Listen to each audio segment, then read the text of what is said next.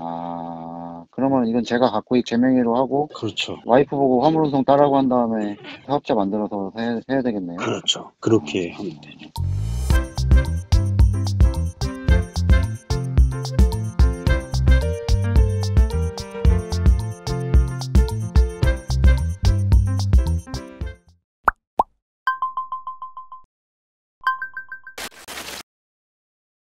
디젤 트럭입니다. 아, 네, 안녕하세요. 그 뭐 좀 상담하려고 전화드렸는데, 네네. 아, 예, 제가 지금 1톤 전기 트럭으로 택배하고 있는데요. 다른 톤수 좀 높여가지고 예. 콜바리로 좀 하고 싶어서 그러는데 네네. 어떻게 좀 해야 되는지 좀 여쭤보려고. 음, 택배 그 넘버가 무료로 받은 넘버예요? 예, 영업용 남바거든요. 어, 그거는 반납하고 그 차를 정리하시고 이거 반납 안 하고 예. 제가 남바를 또 새로 사는 건 안 되는 거예요? 안 되죠. 아, 그렇게는 안 돼요? 예. 본인 명의에 하나밖에 보유가 안 돼요. 아, 그래요? 네. 근데 직원 두고 이렇게 하시는 분들은 뭐예요, 그럼? 그건 다른 명의로 하는 거죠. 아. 뭐 법인이든 개인이든 예. 한 사람 앞에 넘버 하나밖에 안 돼. 아.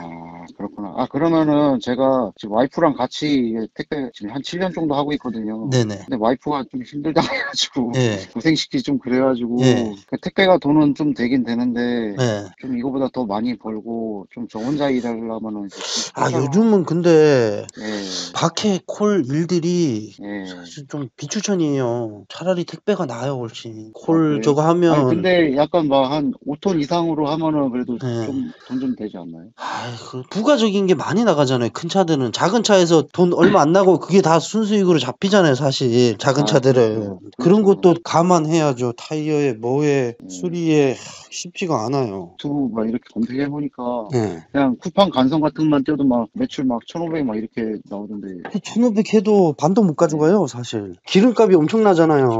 예. 잘 생각해 보세요. 제가 봐서는 현재로서는 그냥 예. 택배가 나아요. 밖에 일보다. 뭐 밖에 일이 좀 괜찮으면 추천드리겠는데 예.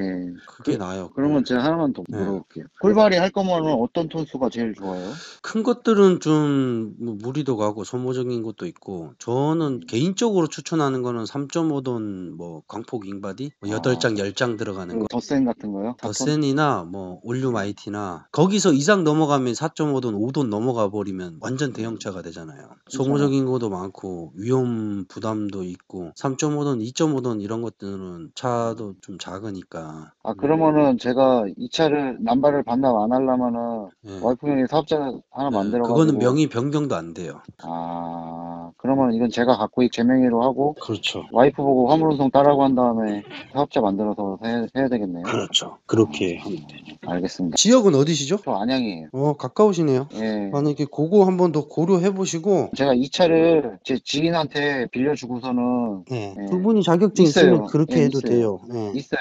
예. 화물운송 자격증 있으니까. 네. 그러면 보험만 적용되게 하면 예. 가능은 해요. 그러면은 그렇게 하고 저는 이제 좀 일단은 더 생각 한번 해보 시고 네. 네, 결정 나면 전화 한번 주세요. 알겠습니다. 네, 감사합니다. 감사합니다.